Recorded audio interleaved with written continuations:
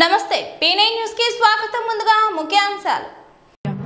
పొంచి ఉన్న నివర్ ముప్పు అప్రమత్తమైన జిల్లా యంత్రాంగం. బీజేపీ విధానాలను తిప్పికొట్టాలి. సార్వత్రిక సమ్మెను జయప్రదం చేయాలి కార్మిక సంఘ నాయకులు. నివర్ తుఫాను దృష్ట్యా తీర ప్రాంత మండలాల అధికారులు అప్రమత్తంగా ఉండాలని జిల్లా కలెక్టర్ పోలా భాస్కర్ ఆదేశించారు. తుఫాన్ హెచ్చరిక దృష్ట్యా తీసుకోవాల్సిన జాగ్రత్తలపై స్థానిక ప్రకాశం భవనంలో ఆయన సమావేశం నిర్వహించారు. ఈ సందర్భంగా ఆయన మాట్లాడుతూ లోతట్టు ప్రాంత వాసులను గుర్తించి సహాయ శిబిరాలకు తరలించాలని తుఫాన్ ప్రభావిత కుటుంబాలకు పంపిణీ చేయడానికి బియ్యం కందిపప్పు పంచదార సిద్ధం చేయాలని సూచించారు. అధికారులకు సహాయపడటానికి పోలీస్ శాఖ సిద్ధంగా ఉందని ఎస్పీ సిద్ధార్థ కౌశల్ తెలిపారు. ఈ కార్యక్రమంలో JC Venkatamurali JC two Chetan VR DRO Vinayakam ఇతర అధికారులు పాల్గొన్నారు. పత్రికలకి electronic media of this disaster know about uh, the cyclone, they expected to make uh, landfall in Tamil Nadu, but again, ఇందులో మనకు దీని గురించి ఒక్క మాట మేము హండ్రెడ్ పర్సెంట్ క్లారిటీతో క్లారిటీతో చెప్పగలిగింది అయితే ఇందులో వాట్ ఎవర్ యూ ఎక్స్పెక్ట్ అది ఉండవు. It will it will change hundred percent it can it can come north words ఇంకా నార్త్ వర్డ్ వస్తే మాకు కూడా ఎక్కువ ఎక్కువ ఎఫెక్ట్ అవుతుంది and just to just to highlight the point that ఎక్కడైతే ఎక్కువ డ్యామేజ్ అవుతుంది ఎక్కడ లాస్ ఆఫ్ లైఫ్ జరుగుతుంది అది that is not because of the intensity of the cyclone or anything like that that is usually because of lack of preparedness and మనకి uh, ఆ ఏరియాలో ఉన్న పర్సన్స్ సో దయచేసి ఇందులో ఇంతాక జేసీ గారు చెప్పినారు please make sure that all the all the officers of the each department are present in the designated location because చివరి నిమిషంలో ఇది ఉండకూడదు దట్ పది మందిని ఇవాక్యుయేట్ చేయాలి నా the vehicle is not there you know ME inspector is not known twenty మెంబర్స్ని తీసుకువచ్చేసాము అక్కడ ఫుడ్ లేదు you know civil supplies officers is not in coming into contact you know ten twenty uh, shelter is locked but shelter is not in shelter you not in shape our then our Panchayati Raj and other people are not coming in contact అది ఉండకూడదు అది జరిగితే మాత్రం hundred percent it becomes department సంబంధించి ఏదైనా సరే negligence ఉన్నా అక్కడ ఏదైనా మనం రెస్పాన్స్ అనేది సరిగా లేకపోతే మాత్రం suddenly that concern departmental officer will be taken into task ఎందుకు? సీఎం గారే రివ్యూ చేసి కలెక్టర్ గారిని అందరి ముందు ఆడ ఉన్నప్పుడు ఇంకా మనం అలర్ట్ అవ్వకుండా ప్రిపేర్ అవ్వకుండా ఏదో రానిలే వస్తు చూద్దామని అన్నట్టుంటే వచ్చిన తర్వాత ఏదైనా డ్యామేజ్ అయితే ఊజ్ ఆన్సరబుల్ సో అందువల్ల ఎవరు లైట్ తీసుకోవద్దు స్టిల్ ఇట్ క్రాసెస్ అంతవరకు అది మనకు వస్తుంది ప్రకాశం జిల్లాకు అన్నటువంటి ప్రెజెంట్స్తో మనం ఉన్నప్పుడు అప్పుడు వచ్చినా మనం మన చేయగలిగేదంతా మనం చేయాలి. సో అట్లా చూసినప్పుడు మరి జనరల్గా మీకు తెలిసిందే ఈ సైక్లోన్ మూమెంట్స్ అన్నీ కూడా. మనం ఎలా pre cyclone during cyclone during cyclone it all depends upon your preparedness pre cyclone. అప్పుడు వాటిని ఇంప్లిమెంట్ చేయడానికి అందు హ్యూమన్ రిసోర్స్ దానికి అవసరమైనటువంటి మెటీరియల్ అంతా కూడా మనం సిద్ధం చేసుకుని రెస్పాన్స్ అవ్వడానికి సో ఆ పాయింట్ ఆఫ్ వ్యూలో ఇప్పుడు మనం ఆలోచించాలా? సో అట్లా చూసినప్పుడు కొద్దిగా మన జి- జిల్లా లెవెల్లో జేసీ గారు డిఆర్ఓ గారు కొద్దిగా దృష్టి పెట్టి ఫస్ట్ ఆఫ్ ఆల్ ఈ కమ్యూనికేషన్ సిస్టమ్ ఒకవేళ మొత్తం మనకు టవర్స్ పోతే సెల్స్ కూడా పనిచేయవు. సో అప్పుడు మనం కమ్యూనికేషన్ చేసుకోవాలంటే హ్యామ్ రేడియో చేస్తాము. అందువల్ల అది హ్యామ్ రేడియో సెటప్ ఎక్కడుంది అది పనిచేస్తుందా లేదా ఏంటి దాన్ని ఒకసారి చెక్ చేసుకోవాలి. తర్వాత ఆ, మామిళ్ళపల్లి వద్ద జరిగిన హత్యాయత్నం కేసులో ఆరుగురు నిందితులను పోలీసులు అరెస్ట్ చేశారు. ఈ మేరకు అద్దంకి సర్కిల్ కార్యాలయంలో ఏర్పాటు చేసిన మీడియా సమావేశంలో దర్శి ఎస్పీ కె. ప్రకాష్ రావు వివరాలు వెల్లడించారు. కుందూరు గ్రామానికి చెందిన బొమ్మినేని కృష్ణయ్యకు అదే గ్రామానికి చెందిన జడ వీరాంజనేయుల కుటుంబాలకు పాత కక్షల కారణంగా దాడి చేశారని తెలిపారు. ఈ సమావేశంలో Addanki CI I Anjaneya Reddy Santhamagaluru SI V Sivanarayana సిబ్బంది పాల్గొన్నారు. తర్వాత గత చరిత్ర చూస్తే వీళ్ళకి రెండు వేల పద్నాలుగులో త్రీనాట్ సెవెన్ కేసు ఉంది. దాంట్లో ముద్దాయిలు ఇప్పుడు గాయపడిన ఈ త్రీనాట్ ఆ సెవెన్ కేసులో ముద్దాయిలు వీళ్ళందరూ. అది తర్వాత వీళ్ళు పెద్ద మనుషుల సమక్షంలో రాజీపడి కోర్టులు కోర్టులో కూడా సాక్ష్యం లేకపోతే ఆ కేసు పెట్టేశారు. తర్వాత రెండు వేల పంతొమ్మిదిలో మనం బైండ్ హౌస్ కూడా చేసిన ఎలక్షన్స్ కేసులు ఉన్న అయితే ఒక కేసు ఇంకా ఈ రామాజీ మీద పెండింగ్ ఉంది. అది అధికారులు కూడా మీ మీద కేసు ఉంది కాబట్టి అది క్లియర్ చేసుకుంటే తప్పితే ఉద్యోగం కొనసాగలేవని చెప్పినందుకు నా ఉద్యోగం తీసేశారనే మనస్తాపంతో ఇది చేసుకున్నాను ఇది రెండు కుటుంబాల మధ్య సంబంధం ఉన్న ప్రీవియస్ కమిటీ వల్ల జరిగిందే కానీ ఇది ఏ రాజకీయ పార్టీకి సంబంధించింది కాదు. ఇంకా రాజకీయ పార్టీకి సంబంధించి అయితే చాలా ఇంకా పెద్ద ఘర్షణలు జరిగాయి. ఇమీడియట్గా మనం పోలీసు వెళ్ళి ఆ విలేజ్లో పికెట్ వేసాం. రెండు వందల పికెట్ జరుగుతూ ఉందాం. నేను గాయపడిన వాళ్ళని కూడా నేను విచారించాను. ఫోన్ ద్వారా వాళ్ళు చెప్పారు ఇది గ్రామానికి సమస్యలు అంటే అది పోలీసు వారి ద్వారా నేను పరిష్కరించుకోవాలా? ఎలాంటి సంఘటనలు ఇంకా ఎక్కడ జరిగినా కూడా సబ్ పరిధిలో తీవ్ర పరిణామాలు ఉంటాయి. అవసరమైతే పీడీ యాక్ట్ పెట్టి గ్రామాల నుంచి జిల్లా నుంచి బహిష్కరించే చర్యలు కూడా ఖచ్చితంగా తీసుకుంటాం. చిన్న చిన్న మనస్పందలు గ్రామాలు ఉండొచ్చు. సివిల్ కానీ క్రిమినల్ కానీ ఏదైనా సరే అది పోలీసు వారి దృష్టికి తీసుకొస్తే ఖచ్చితంగా దాని మీద మేము యాక్షన్ తీసుకొని శాంతి భద్రత కాపాడటంలో ప్రజలందరూ సహకరించాలని ప్రత్యేకంగా కోరుతా ఉన్నాం. ఈ విషయంలో మన జిల్లా ఎస్పీ శ్రీ సిద్ధార్థ ఐపీఎస్ గారు ప్రత్యేక శ్రద్ధ పెట్టారు. ఇప్పుడు మేము ప్రతి గ్రామానికి రెగ్యులర్గా విజిట్ చేస్తూ ఆ గ్రామాల్లో ఉన్న సమస్యలు ఏంటి అనేది చూసి అది మేము మా పరిధిలో మేము చేయగలిగేది ఖచ్చితంగా చేయాలని అనుకుంటున్నాం. కాబట్టి ప్రజలు సమస్య ఉంటే పోలీసు వారి దగ్గరకు వచ్చి సమస్యలు చెప్పుకోవాలని ఇది కాకుండా ఇట్లాంటి క్రిమినల్ యాక్టివిటీకి పాల్పడితే మాత్రం తీవ్ర తీవ్ర చర్యలు ఉంటాయి. ఖచ్చితంగా రౌడీ షీట్లు ఓపెన్ చేయడం మీడియా యాక్ట్ తర్వాత సీరియస్ కౌన్సిలింగ్ కూడా ఉంటుందని మీ ద్వారా హెచ్చరిస్తున్నాను ఫైనల్గా నేను చెప్పదలసింది ఏంటంటే ఇది ఏ పార్టీకి ఒక పార్టీ ఒక పార్టీ మీద దాడి చేసింది కాదు. ఆ ఇన్వెస్టిగేషన్ అది రెండు కుటుంబాల మధ్య వీడియోస్గా ఉన్న రక్షణ మూలంగానే వాళ్ళు అటాక్ చేస్తున్నారు.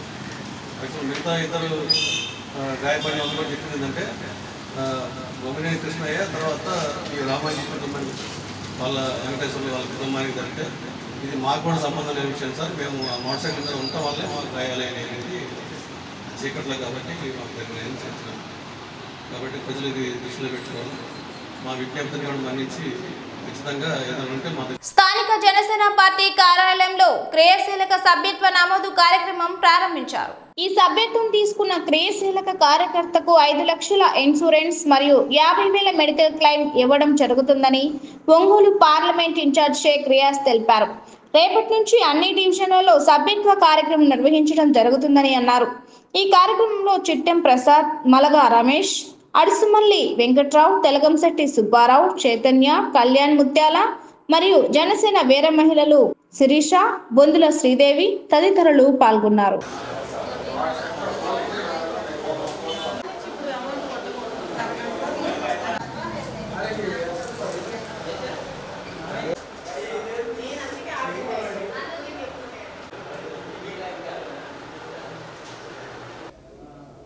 ఈరోజు వైసీపీ నాయకులు అక్రమంగా సంపాదన ఎలా సంపాదించాలి ఎలాగా మేము బతకాలని చెప్పేసి వాళ్ళు ఉన్నారు. ప్రజలు గమనిస్తున్నారు ఇవన్నీ. అందుకే రాబోయే రోజుల్లో జనసేన పార్టీ విజయానికి ఈరోజు సభ్యత్వ నమోదు అనేది ఒక నాంది పలకబోతుంది. ఏదైతే ఒంగోలు అసెంబ్లీ నియోజకవర్గంలో ఉన్నటువంటి కొత్తపట్నం మండలం కానివ్వండి ఒంగోలు మండలం కానివ్వండి అలాగే ఒంగోలు నగరంలో ఉన్నటువంటి యాభై డివిజన్లు కూడా ప్రతి ఇంటికి వెళ్ళి డివిజన్ స్థాయిలో కూడా ప్రాథమిక సభ్యత్వం చేయడానికి జన సైనికులందరూ చాలా విజయ విజయంతో ముందుకెళ్తున్నారు. చాలా సంతోషంగా వెళ్తున్నారు. ఎందుకంటే ఈ రాష్ట్రానికి ఎట్టి పరిస్థితుల్లో ముఖ్యమంత్రిగా పవన్ కళ్యాణ్ గారిని చూడాలన్నదే జన సైనికులుగా మా అందరి మీద ఉన్న లక్ష్యం. అలాగే తిరుపతి ఉప ఎన్నికలో కూడా జనసేన బీజేపీ ఉమ్మడి అభ్యర్థిగా ఒక గట్టి పోటీ ఇచ్చి రాబోయే రోజుల్లో తిరుపతి ఎంపీ అభ్యర్థి జనసేన పార్టీ విజయ కేతం ఎగరవేయబోతుందనేది మేము ఘంటాపదంగా చెప్తున్నాం. ఎందుకంటే ఈరోజు రాష్ట్రంలో చూస్తే ప్రతి ఒక్కళ్ళు ఎందుకు జైకాపాకి మేము ఓట్లేసాంరా అని ఈరోజు వాళ్ళని వాళ్ళు కుట్టుకునే పరిస్థితి ఉంది. ఎవరూ ఒక్కళ్ళు సంతోషంగా లేరు.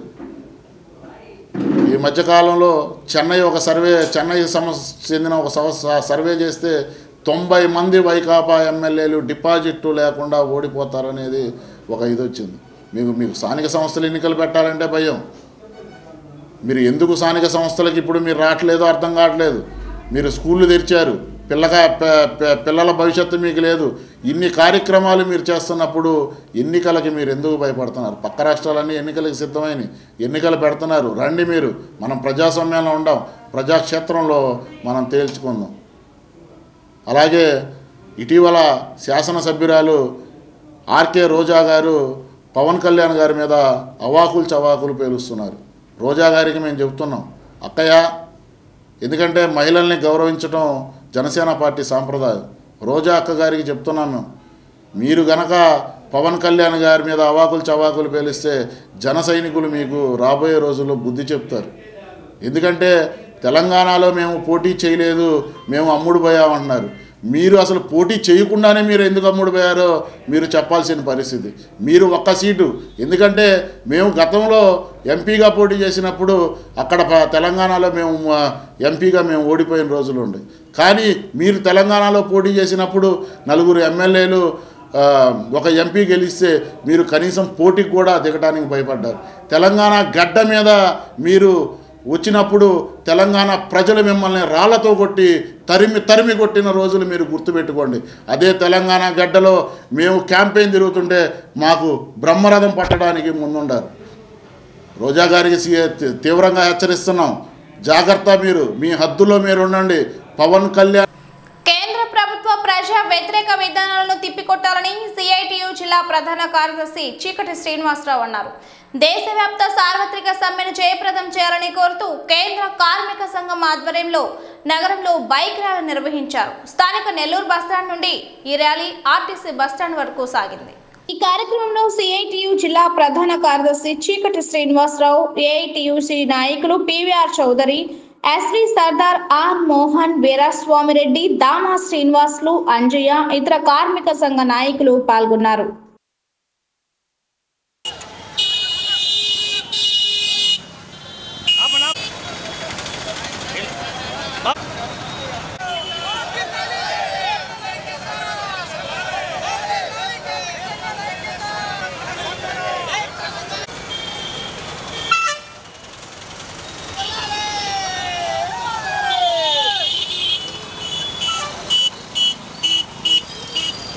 చీకటి శ్రీనివాసరావు సిఐటి జిల్లా ప్రధాన కార్యదర్శి.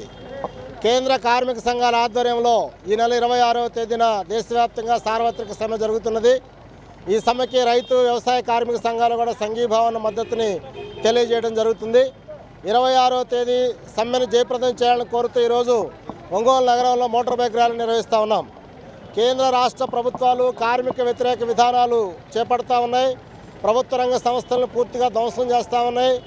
పూర్తి స్థాయిలో కరోనా నేపథ్యంలో కార్మిక వర్గాన్ని ఆదుకోకుండా ఈరోజు విచ్చలవిడిగా వదిలేసింది.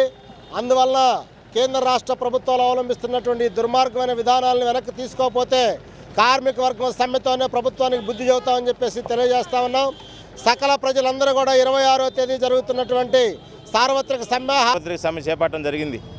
కేంద్ర కార్మిక సంఘాలైనటువంటి AITC CITU IFTU YSR trade union AFTU INTUC తదితర కార్మిక సంఘాలు మొత్తం కూడా కోటాను కోట్ల మంది ఇరవై ఆరో తారీఖున వీధుల్లోకి వచ్చే పరిస్థితి ఉంది కేంద్ర ప్రభుత్వం ఈ రోజున సంస్కరణల పేరుతోటి రకరకాల సంస్థలు మొత్తం కూడా రైల్వే కానీ రవాణా రంగం కానీ లేకపోతే పోర్టులు కానీ డిఫెన్స్ కానీ బిఎస్ఎన్ఎల్ బ్యాంకులు అన్నీ కూడా ప్రైవేటీకరణకి ద్వారాలు తెరిచింది. విదేశీ బ్యాంకులు కట్టబెట్టే పరిస్థితులు ఉన్నాయి కనుక దీన్ని మేము తీవ్రంగా వ్యతిరేకిస్తూ ఉన్నాం. అదేవిధంగా విద్యుత్ సంస్కరణల పేరుతోటి మొత్తం కూడా ప్రజల మీద పెద్ద భారాలకి దారితీసిన పరిస్థితులు ఉన్నాయి. అదేవిధంగా ఈ రోజున వివిధ సంస్థల్లో ఉన్నటువంటి మొత్తం కూడా కాంట్రాక్ట్ కార్మికులు పర్మినెంట్ చేయాలని చెప్పి కోరుతా ఉన్నాం. నిత్యావసర ధరలు తగ్గించాలని చెప్పి కోరుతా ఉన్నాం.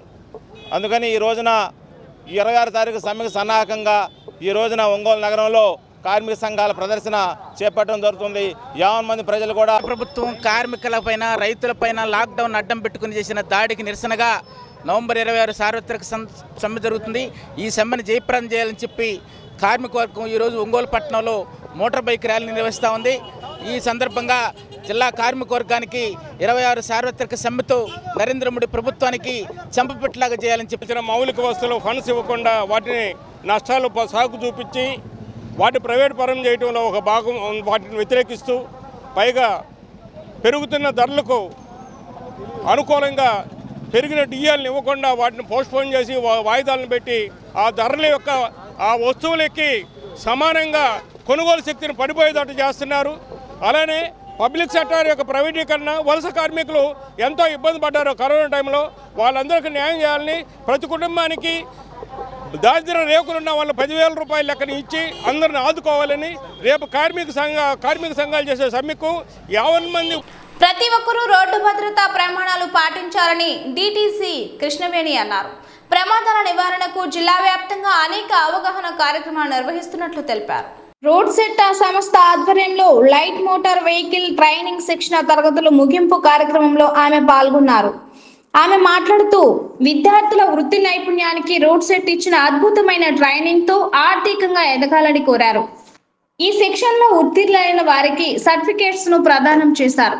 ఈ కార్యక్రమంలో road side director Suryanarayanamurthy assistant director B Uday Bhaskar తదితరులు పాల్గొన్నారు.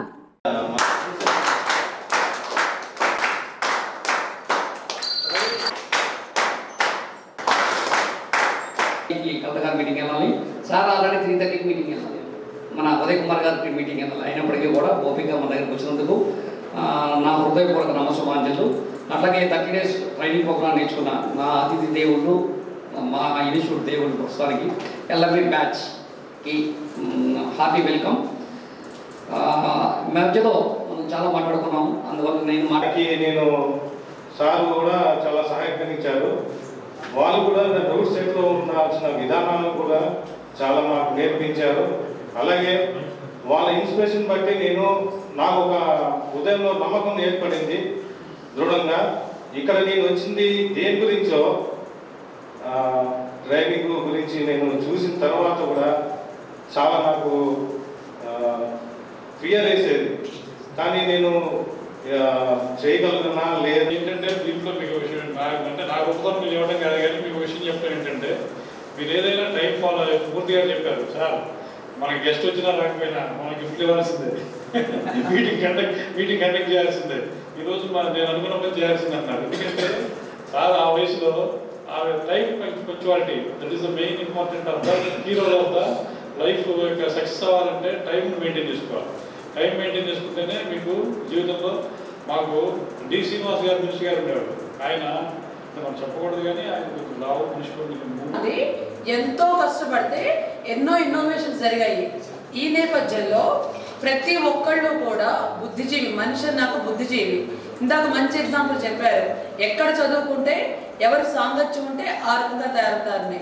మన దేశంలో ఎన్నో కథలు ఉన్నాయి ఏకలవ్యుడు ద్రోణాచార్యుడు విద్య నేర్పలేదు కానీ విద్య నేర్చుకున్నాడు.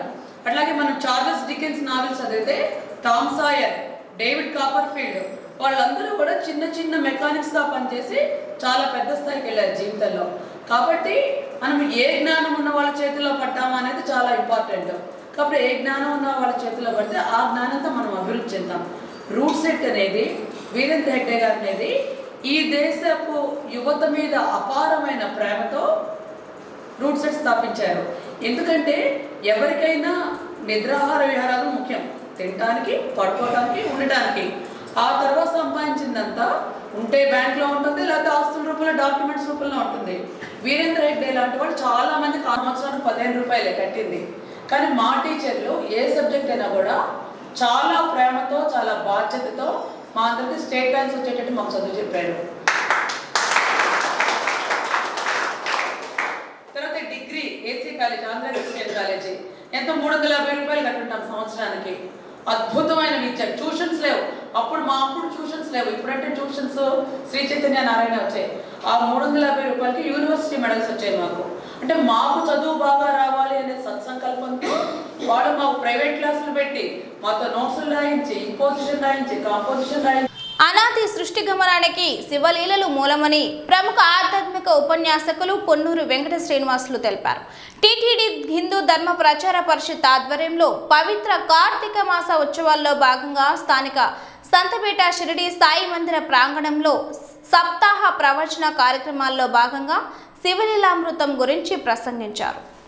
ముందుగా ముఖ్య అతిథిగా విచ్చేసిన హిందూ ధర్మ ప్రచార పరిషత్ సూపరింటెండెంట్ క్రాంతి కుమార్ జ్యోతి ప్రజ్వలన చేసి కార్యక్రమాన్ని ప్రారంభించారు. ఆయన మాట్లాడుతూ సనాతన హైందవ ధర్మ పరిరక్షణకై తిరుమల తిరుపతి దేవస్థానంలో చేపడుతున్న సేవా కార్యక్రమాల గురించి వివరించారు. ఈ కార్యక్రమంలో మంత్రి కమిటీ అధ్యక్షులు అలహరి చెంచులరావు రావినుతుల రామకృష్ణ తదితరులు పాల్గొన్నారు.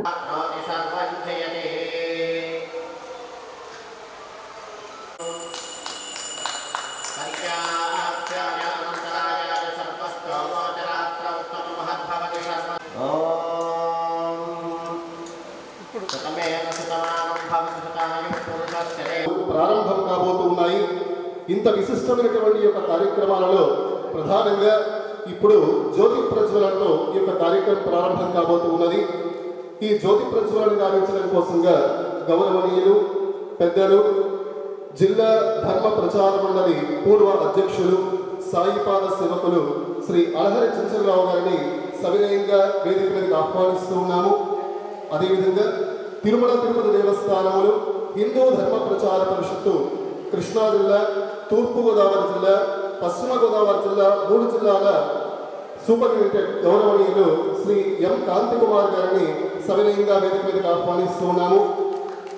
అదేవిధంగా తిరుమల తిరుపతి దేవస్థానములు జిల్లా ధర్మ ప్రచార మండలి పూర్వ కార్యదర్శి మరియు ఈ రోజున తొలి రోజుగా ఈ యొక్క శివలీలామృతం పైన ధార్మిక ప్రవచనం చేయడం కోసం వచ్చినటువంటి పెద్దలు బ్రహ్మశ్రీ పొన్నూరు వెంకట శ్రీనివాసరావు గారిని వారిని కూడా సవయంగా వేదిక మీదకి ఆహ్వానిస్తూ ఉన్నాము అదేవిధంగా మమ్మల్ని హిందూ ధర్మ ప్రచార పరిషత్తులో మేము చేసినప్పుడు అన్ని కార్యక్రమాల్లో పాల్గొని మాకు అండదండలుగా ఉండేవాళ్ళు డిపార్ట్మెంట్ తరఫున. అట్లాగే పనులు వెంకట శ్రీనివాసరావు సెక్రటరీగా నేను ప్రెసిడెంట్గా ఉండి మాకు భగవంతుడు అవకాశం ఇచ్చాడు. అదే ఈ కార్తీక మాసంలో మనం అనుకోకుండా ఈ కార్తీక మహోత్సవాలు ఏర్పాటు చేయాలని స్వామివారు అనుజ్ఞ అయింది మాకు.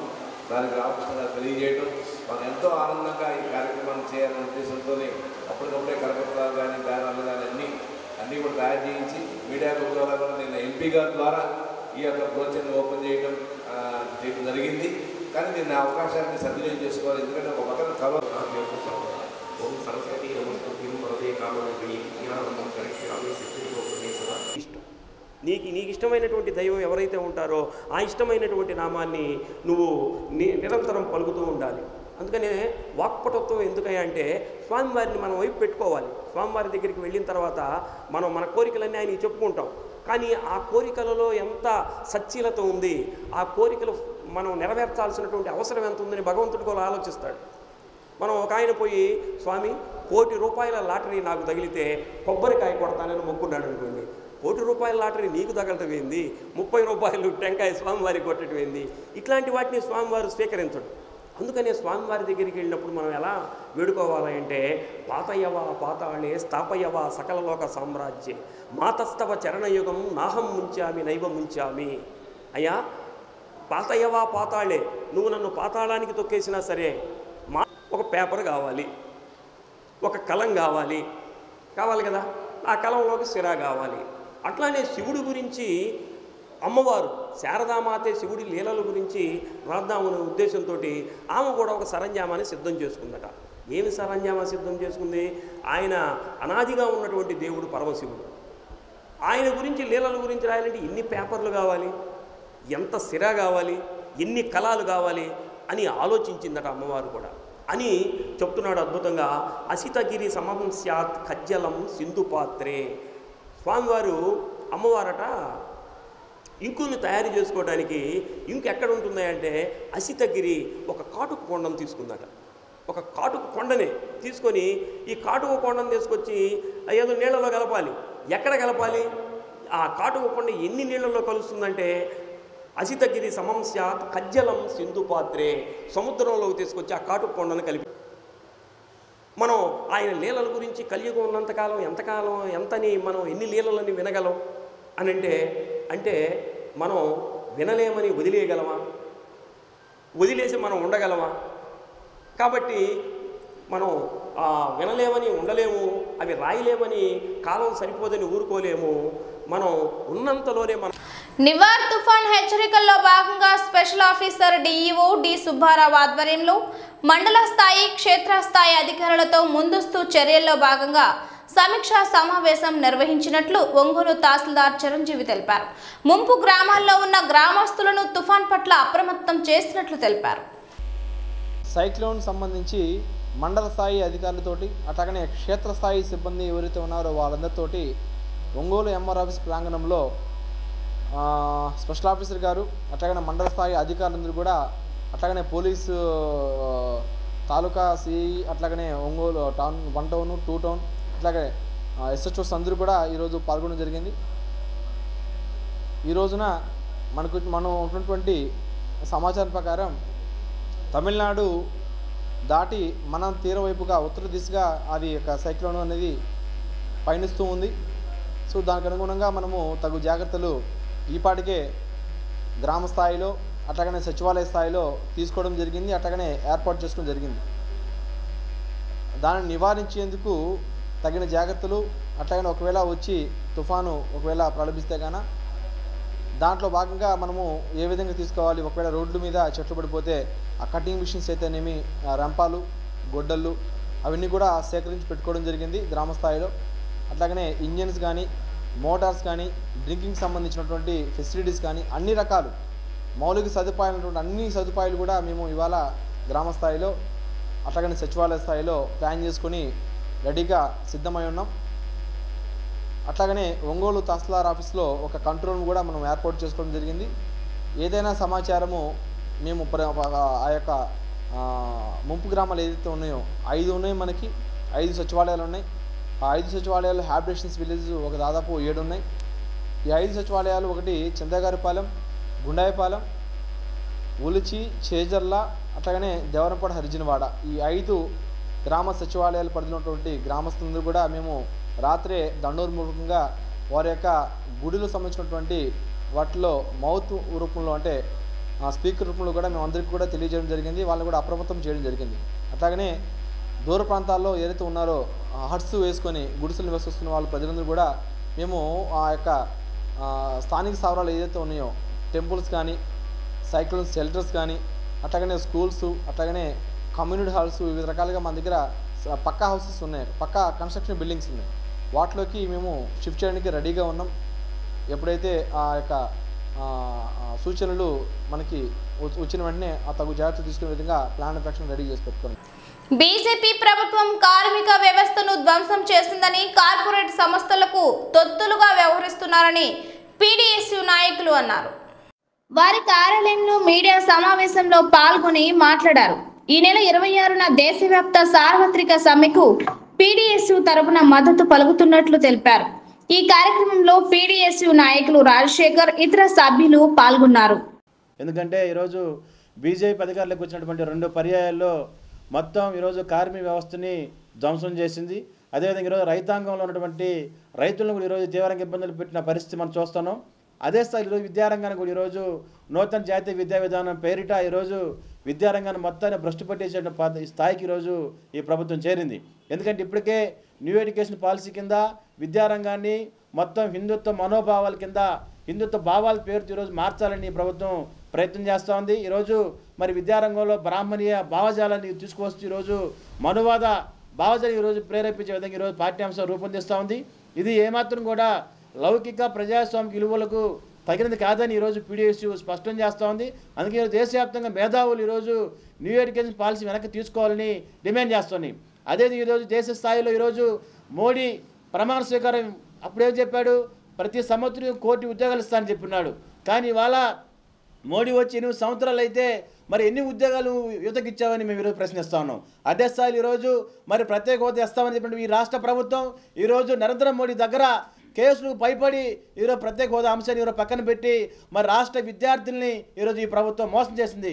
అదే ఈరోజు ప్రకాశం జిల్లా మనం చూస్తే యూనివర్సిటీ మంజూరు చేస్తామని హామీ ఇచ్చింది. కానీ ఒక హామీ కూడా ఈరోజు విద్యారంగం సంబంధించిన హామీని ఈరోజు ప్రభుత్వం నిలబెట్టుకున్న పరిస్థితి లేదు. అందుకని ఈరోజు దేశ స్థాయిలో మరి రాష్ట్ర స్థాయిలో ఖాళీగా ఉన్నటువంటి వీసీ పోస్టుల్ని మరి భర్తీ చేయాలని మేము డిమాండ్ చేస్తున్నాం. విద్యారంగంలో అనే- అనేక రకాల సమస్యలని మరి సమస్య పరిష్కారం చేయాలని మేము డిమాండ్ చేస్తున్నాం. మరి ఆ స్థాయిలో అందుకోసం ఈ యొక్క ఈరోజు రేపు ఇరవై ఆరు జరిగిన దేశవ్యాప్త సార్వత్రిక సమ్మెకు పీడిఎస్సికి మేము సంపూర్ణ మద్దతు తెలియజేస్తున్నాం. ఈ యొక్క బంద్లో విద్యా సంస్థలు మరి విద్యాలయ కార్తీక మాసం సందర్భంగా స్థానిక కేశవ స్వామి పేటలోని చెన్నకేశవ స్వామి ఆలయ ప్రాంగణంలో శ్రీ సత్యనారాయణ సేవా సమితి వారి ఆధ్వర్యంలో శ్రీరామ వసుంధర సమేత శ్రీ సత్యనారాయణ స్వామి వారి సామూహిక వ్రతాలు ఘనంగా నిర్వహించారు. ఈ కార్యక్రమంలో ఆలయ కమిటీ చైర్మన్ ఈదుపల్లి గురునాథరావు కార్యనిర్వాహక అధికారి పివి అప్పారావు కొత్తూరు సుబ్బారావు చుండూరు శ్రీమన్నారాయణ మొబ్బల సుబ్బరాయుడు పాలక మండలి సభ్యులు పాల్గొన్నారు. కార్తీక పురాణ పుస్తకం కూడా ఆ ఆ ఆచరణను ఏ వ్రత ఈ మహాముని సుత మహాముని పరంపరగా చేస్తామండి. కార్తీక శుద్ధ ఏకాదశి గాని పౌర్ణమి గాని విధానంలో శ్రీమన్నారాయణుని యొక్క ఇరవై వంటి వాడు నారద మహర్షి ఆయనే కార్తీక శుద్ధ ఏకాదశి మనం కూర్చున్నామే. పరశువాళ్ళకి మాత్రం వాళ్ళ కష్టం కాకపోయినా లోకంలో మరణ వాళ్ళకి ఇబ్బంది అయిందని అయ్యో కృష్ణ కృష్ణ అలాగే. నమో వాంగ్మనసాదీత రూపాయామిత శక్తయే. ఆది మధ్యాంత హీనాయ ఆది మొదలు మధ్య. ఆనాడు చక్కగా శ్రీమన్నారాయణుని తులసితో ఆరాధన చేసినటువంటి వారు. స్వామికి దివ్యమైనటువంటి ఆ హారతి మంగళ నీరాజనాథులు సమర్పించినటువంటి వారికి చాలా ఉత్తమమైనటువంటి స్థితి కలుగుతుందని మనకు పురాణములు చెప్తూ ఉన్నాయి. ఇరవై ఆరు ఏకాదశులను సేవించమన్నారు. అయ్యా నా వల్ల కాదండి అంత సేపు కూర్చోలేను ఆ సాధన చేయలేను ఉద్యోగం వ్యాపారం ఉన్నది. ఇరవై ఆరు కాదు ఇరవై నాలుగు కాదు అన్నారు. కనీసం ఒక నాలుగు చూస్తావా అన్నారు. ఆ కామావై. ఆశ్వీజ కార్తీక మాఘ వైశాఖ నాలుగు ఏకాదశులు చూడన్నా మనకి ఇబ్బంది అండి అంట. మన శాసనం ఎలా చెప్పిందో ఇలానే చేయమని చెప్పలేదండి. మీ శక్తి మీద చెయ్యి యథాశక్తి చెయ్యి. పీనీ న్యూస్ మేయించే ముందు ముఖ్యాంశాలు మరోసారి. పొంచి ఉన్న నివర్ ముప్పు అప్రమత్తమైన జిల్లా యంత్రాంగం. బీజేపీ విధానాలను తిప్పికొట్టాలి. సార్వత్రిక సమ్మెను జయప్రదం చేయాలి కార్మిక సంఘ నాయకులు. ఈ వార్తలందరితో సమాప్తం. నమస్కారం.